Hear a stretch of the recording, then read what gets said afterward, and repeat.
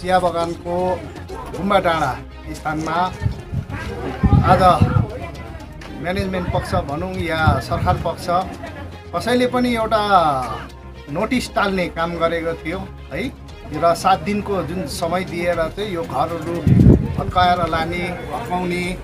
उनीहरूको एउटा त्रासपूर्ण एउटा धम्कीपूर्ण एउटा जुन नोटिस दिएको थियो त्यस आधारमा चाहिँ आज सम्पूर्ण ट्रेड भनौँ हाम्रो युनियनबाट क्लामाक्पाको साथी हाम्रो सुनिल राईज्यू हुनुहुन्छ र स्वयं म हिमालयन प्लान्टेसन वर्कर्स युनियनको तर्फबाट जेनरल सेक्रेटरी एसके लामा र साथसाथै आज विधायकज्यू पनि खरसाङबाट हाम्रो बिपी बजगाईज्यू पनि आउनुभएको रहेछ र अन्य अरू दलहरू पनि कतिपय देखियो है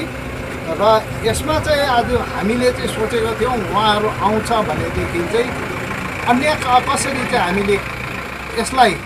रोक्ने काम गर्छौँ? र उहाँहरूको पनि कुन तरिकाले चाहिँ यो बगानमा चिया श्रमिकहरूलाई अन्याय र अत्याचार गर्छ भनेर हामी पनि आएको थियौँ। तर अभाग्यवश भनौँ या दुर्भाग्यको कुरा उहाँहरू पनि आउनु भएन र बिपी बजगाईज्यू जो हाम्रो एमएलए हुनुहुन्छ उहाँले पनि एउटा फोन मार्फत बातचित भयो जो बिडिओ साहिबसँग र उहाँले भन्नुभयो यो कुरो कुनै पनि ठुलो कुरो होइन र भोलिदेखि नै यस्तो त्रासपूर्ण कुराहरू चाहिँ हुने छैन भनेर। साथसाथै हामी आरआरको जुन थाना छ उहाँलाई पनि हामी बिन्ती गर्छौँ या भन्न चाहन्छौँ कि बिचबिचमा यसरी तपाईँहरू उर्दी लगाएर तपाईँ हामी जनताको प्रोटेक्सनमा उभिनु पर्ने भएर तपाईँहरूले खागी वर्दी लगाएर यसरी